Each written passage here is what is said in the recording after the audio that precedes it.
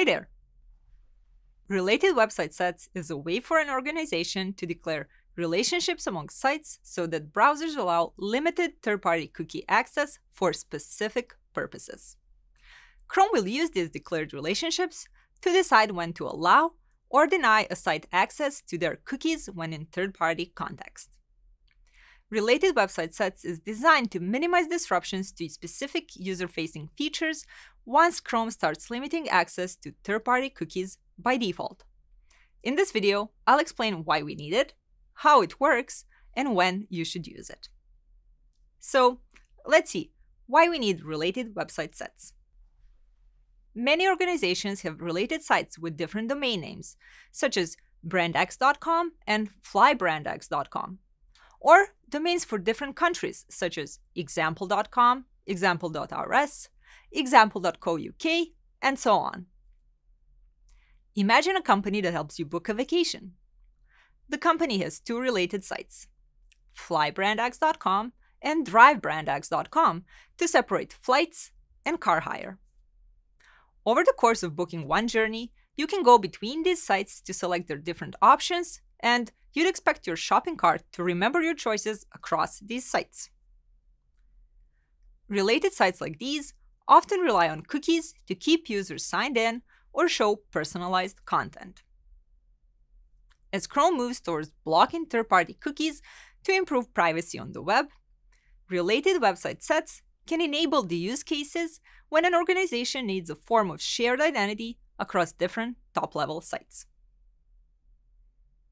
So, what makes a related website set?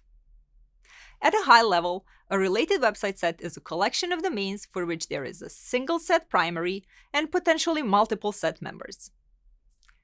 In this example, primary lists the primary domain, and associated sites list the related subset of domains. Types of subsets are categorized by specific use cases related to website functionality. Country code top level domain, or CCTLD subsets, are for variations for particular countries or geographical areas.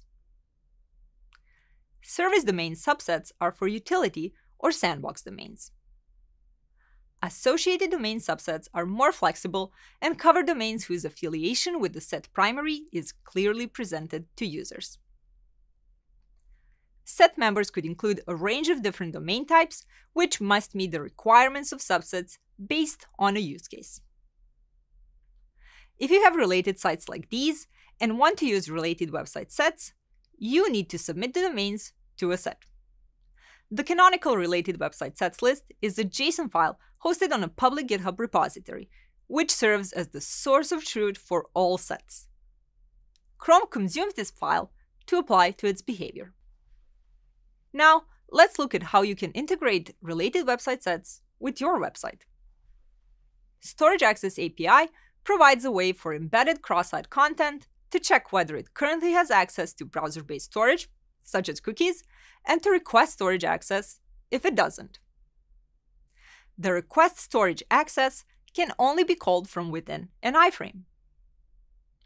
Using Storage Access API within a related website set provides a smoother user experience.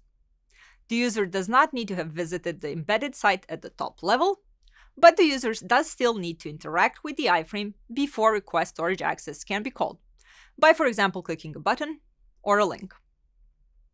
With just Storage Access API, requesting storage access will present users with a prompt to either allow or deny access. If related website set is enabled, Chrome will automatically grant permission for sites within the set. Because request storage access can only be called from within an iframe, it poses challenges for top-level sites that use cross-site images or script tags requiring cookies. To address this, Chrome has implemented a way for top-level sites to request storage access on behalf of specific origins with Request Storage Access for. The Request Storage Access for API is meant to be called by a top-level document and requires that the document must also have just received user interaction. Now is the time to audit your site to see how it works when third-party cookies are blocked. If you find that you need to use Storage Access API for unpartitioned cookie access across a small group of meaningfully linked sites, related website sets can offer a smoother user experience without prompts for sites within a set and additional functionality for the top level site, not just the iframe, to grant storage access. It provides you with predictability, control, and agency in preserving the user experience of your websites. To find out more, check out our documentation and demos. Thanks for watching.